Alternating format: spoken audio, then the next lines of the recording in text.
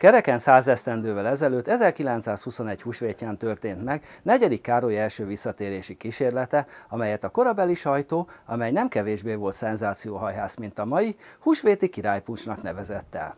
Mivel momentán nem tudok olyan megemlékező éremről, amely ennek az alkalomnak a megörökítésére készült volna, így most kénytelen vagyok negyedik Károly pénzeiről beszélni. Károlyt Ferenc József 1916. november 21-én bekövetkezett halála után alig egy hónappal később, december 30-án koronázták magyar királyá Budán. A királyok sorában így ő lett a negyedik, mivel megelőzte őt első Anzsú Károly ismertebb nevén Károly Róbert, második Duradzója vagy Kis Károly, a legrövidebb ideig uralkodó magyar király, illetve Habsburg harmadik Károly, aki cseh királyként második, még német-római császárként, hatodik Károly néven tart számon a kutatás.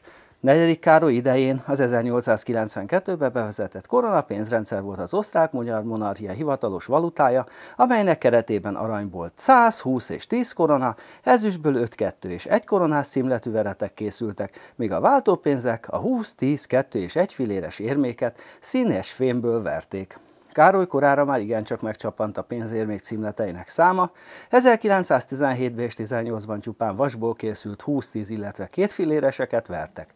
Ismertek ugyan 50 és 10 filér címletű pénztervezetek, de ezek végül nem kerültek forgalomba. 1918-ban azonban még egy kísérletet tettek 20 koronás arany pénzverésére, negyedik Károly nevére. Előlapon a királyálló alakja, magyaros ruhában fején a magyar szent korona, vállán a koronázási palást, oldalán kard jobbjában az országalmát, baljában a jogar tartja. A hátlapon két angyal által tartott koronás magyar, nagy címer, alul két oldalt kb. betűk a körmöcbányai verde jegye.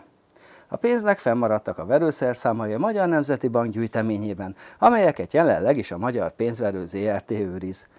Nem tudjuk, hogy a 20 koronás aranyból hány példány készült, minden esetre a Magyar Nemzeti Múzeum éremtára két példányt is őriz. Nyilvános árverésen utoljára 2003-ban szerepelt Bécsben, akkor 92 ezer eurós leütési áron kelt el.